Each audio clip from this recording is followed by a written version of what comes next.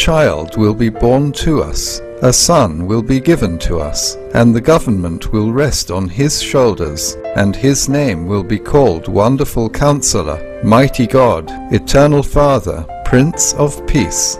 Holy Bible, Book of Isaiah. A blessed Christmas to you, cherished viewers, and welcome to Vegetarian Elite on Supreme Master Television. On this momentous occasion, in celebrating the birth of Lord Jesus Christ, we will offer glimpses into the life of this most compassionate, enlightened Master. As one who lived to advocate love for all of humanity, including animals, there is extensive evidence that shows Jesus led his life as a pacifist and a vegetarian. The first clear evidence that Master Jesus was a vegetarian is that his apostles abided by the plant-based diet. Church Father Eusebius wrote in his work Demonstratio Evangelica, or Proof of the Gospels, They, the apostles, embraced and persevered in a strenuous and a laborious life with fasting and abstinence from wine and meat. and in his church history text, Father Eusebius wrote that Apostle John never ate meat. The early church father, St. Clement of Alexandria, who was also a vegetarian, wrote about the Apostle Matthew.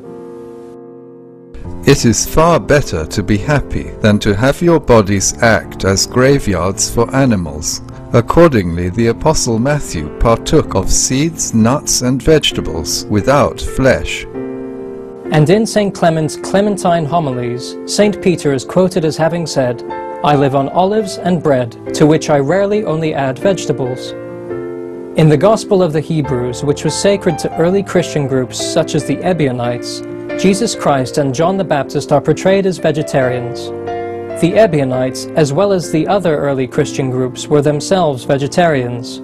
The Ebionites accepted only the Gospel of the Hebrews as authentic and believed that this Gospel was the original Gospel of Matthew. In their version of the Gospel of the Hebrews, known as the Gospel of the Ebionites, Jesus said, I am come to do away with sacrifices, and if you cease not sacrificing, the wrath of God will not cease from you. According to the Gospel of the Ebionites, Lord Jesus also rejected the Passover meal. Where wilt thou that we prepare for thee to eat the Passover? To which he replied, I have no desire to eat the flesh of this paschal lamb with you. The view that Jesus did not eat lamb at the Passover meal is also supported by His Holiness Pope Benedict XIV, who stated, In all likelihood, he, Jesus, celebrated the Passover with his disciples in accordance with the Qumran calendar, hence at least one day earlier. He celebrated it without a lamb, like the Qumran community, which did not recognize Herod's temple and was waiting for the new temple. Master Jesus' brother, James the Just, is also reported to have been a vegetarian. According to the church historian Hegesippus and the Gospel of Thomas, Jesus' brother James became the leader of the early church after the passing of Jesus. Hegesippus, as quoted by Eusebius, wrote, After the apostles, James, the brother of the Lord, surnamed the Just, was made head of the church at Jerusalem. Many indeed are called James. This one was holy from his mother's womb. He drank neither wine nor strong drink, ate no flesh, never shaved or anointed himself with ointment, or bathed. He alone had the privilege of entering the Holy of Holies, since indeed he did not use woolen vestments, but linen, and went alone into the temple, and prayed in behalf of the people. Biblical scholar Dr. Robert Eisenman wrote in his highly acclaimed book, James the Brother of Jesus, Because of James' preeminent stature, the sources for him turn out to be quite extensive, more than for any other comparable character, even for those familiar to us as John the Baptist and Peter. In fact, extra biblical sources contain more reliable information about James than about Jesus. Dr. Robert Eisenman concluded, Who and whatever James was, so was Jesus. When Dr. Eisenman was asked if it can be assumed that Jesus was a vegetarian as well, he replied, Almost certainly. In an interview with Supreme Master Television, Keith Akers, author of the book The Lost Religion of Jesus, reaffirmed the evidence that Lord Jesus was indeed a vegetarian. There were a bunch of people in the early church who didn't eat meat and didn't drink wine. It's, it's clear. We hear from other, other sources that all the apostles were vegetarian. And that James, the brother of Jesus, was also a vegetarian. Hegesippus uh, is quoted as saying that James, the brother of Jesus, was not only a vegetarian, but he didn't drink wine, and he was raised that way. He was holy from his mother's womb. In other words, he was vegetarian from his birth. So why would Jesus' parents raise James as vegetarian and not raise, uh, raise Jesus as a vegetarian? It was a vegetarian family. So I think it's pretty clear, actually, that Jesus was a vegetarian. There are versions of the Gospels in which Jesus directly denounced the eating of meat. One such version is the Evangelion da-Mepharreshe, also called the Old Syriac Gospels. Syriac is a dialect of Aramaic, the language in which Jesus spoke. Two manuscripts of the Old Syriac Gospels exist, the Syriac Sinaiticus and the Curetonian Gospels.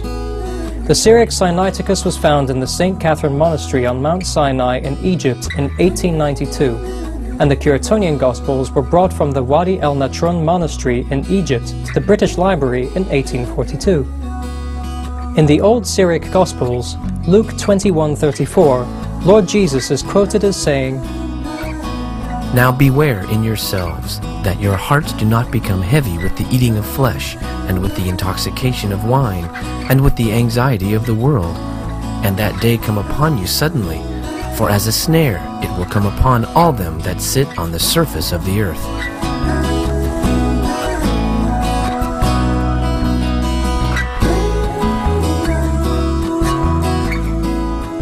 And in the Gospel of Matthew, there are also teachings of Jesus which make the most sense when deciphered from a vegetarian standpoint. For example, Woe to you, teachers of the law and Pharisees, you hypocrites! You are like whitewashed tombs, which look beautiful on the outside, but on the inside are full of the bones of the dead and everything unclean. In the same way, on the outside you appear to people as righteous, but on the inside you are full of hypocrisy and wickedness.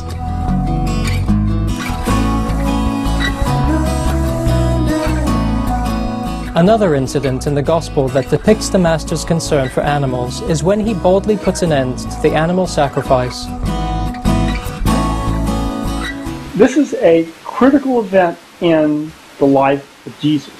And just the week before his death, Jesus goes into the temple and he disrupts the animal sacrifice business. And this is the incident that everyone remembers as Jesus overturns the tables of the money changers. But in fact, he's not primarily interested in the money changers. He's interested in the people that are selling and buying animals. Why are they selling and buying animals? These are the animals that are going to be sacrificed. The incident in the temple is actually found in all four Gospels. It's one of the few, few incidents in Jesus' life which is found in all four Gospels. And this is how John uh, describes it. When the Passover of the Jews was at hand, and Jesus went up to Jerusalem. In the temple he found those who were selling oxen and sheep and pigeons, and the money changers at their business. And making a whip of cords, he drove them all with the sheep and oxen out of the temple. And he poured out the coins of the money changers and overturned their tables. And he told those who sold the pigeons, take these things away.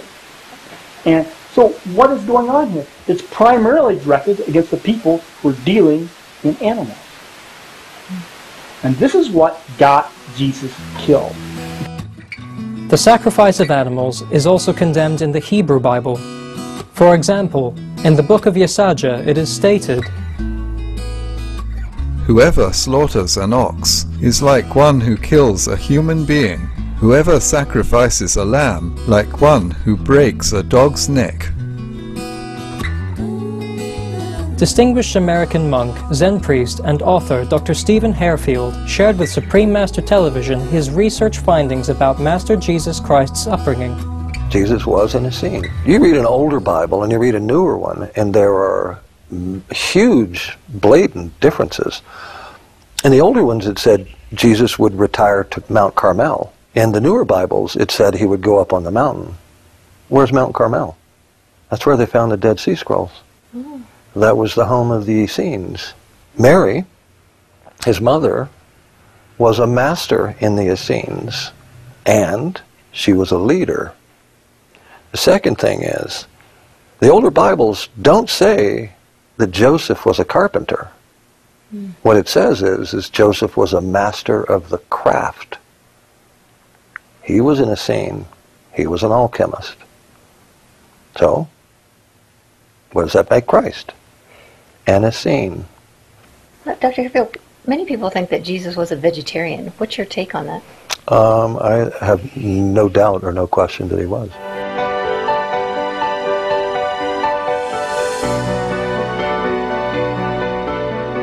In an interview with journalist Andrea Boni that was published in the Irish Independent newspaper in December 2008, Supreme Master Ching Hai addressed Lord Jesus' teachings regarding a compassionate diet and biblical translation variances that may have led to misinterpretations. Poor Jesus. Everyone tried to put meat or fish uh, into the Lord's mouth. He's a pure vegetarian. He came from Essener tradition, and the Esseners are vegetarian all the time. Clearly, in the Bible, it stated in many places that humans should not eat meat at all. Be thou not among flesh eaters and wine drinkers. Yeah, meat for the belly, belly for the meat, and God will destroy both meat and them. Uh, who told you to kill all the bullocks and the she sheep to make offer for me? Uh, please stop the killing of all these innocent.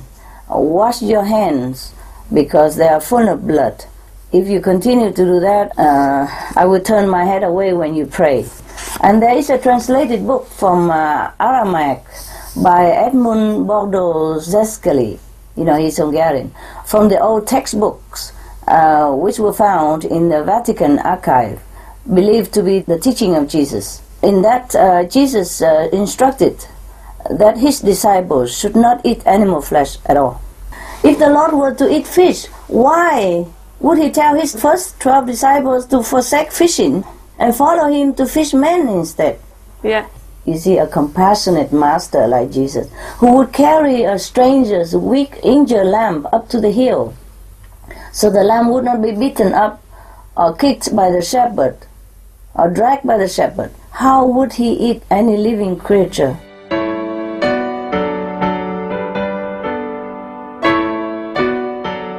Keith Akers also points out the existence of different versions of the same biblical story. If you look at other accounts of these same incidents, if you look, for example, at uh, the early church fathers, who also talked about these stories, Irenaeus mentions the feeding of the 5,000. Eusebius also mentions that, and Arnobius, another early church writer, uh, also discusses the, uh, the Jesus feeding of the multitudes, the miraculous feeding of the multitude. And every case they discuss they discuss the bread, but they don't mention anything about fish. So I think that fish is a later addition. In fact, if you even look at the New Testament, it says uh, at one other point when Jesus is talking about the feeding of the five thousand, he says, "Don't you remember the, when I fed the multitudes and all the bread that we took up?" And he doesn't mention the fish. So it looks like looks to me like some editor went through and put fish in there. There's another consideration which you might want to think about, and that is that fish is a mystical symbol in early Christianity. Fish was an acronym in Greek. So if you take that, Jesus, Son of God, Savior, and spell out the first initials of that in Greek, you come up with ichthus, which is a Greek word for fish. Oh my goodness. So And there's a lot of examples of this clearly, uh, clearly used symbolically by a lot of people in early Christianity.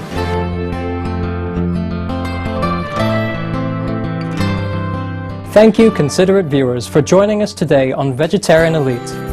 Indeed, we have learned that only through a non-killing way of living and eating can one realize and manifest peace. Please watch our noble lineage on Sunday, January 2nd, as we investigate more historical evidences showing Master Jesus Christ and the early Christians had promulgated the kind, animal-free diet for the Christian lineage.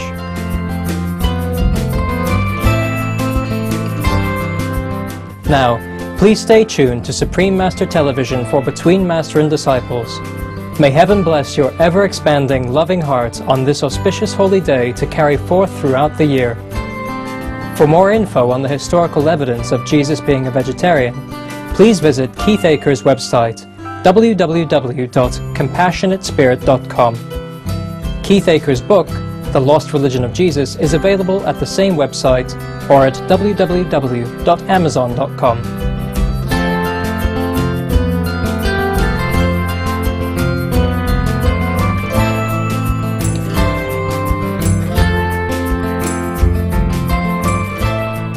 For more details, please visit www.suprememastertv.com forward slash VE.